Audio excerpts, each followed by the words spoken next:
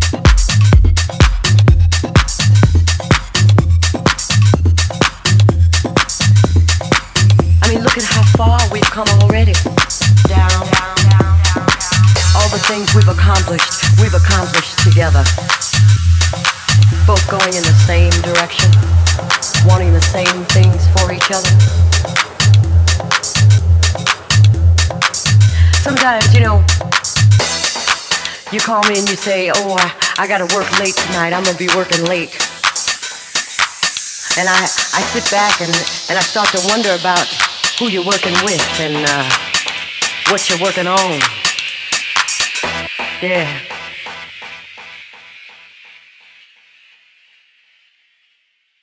And I might get a little upset. but then, you know, you come home and you always find some little way to let me know I got no reason to worry. Yeah, you can make me feel adored. You do it when you want to.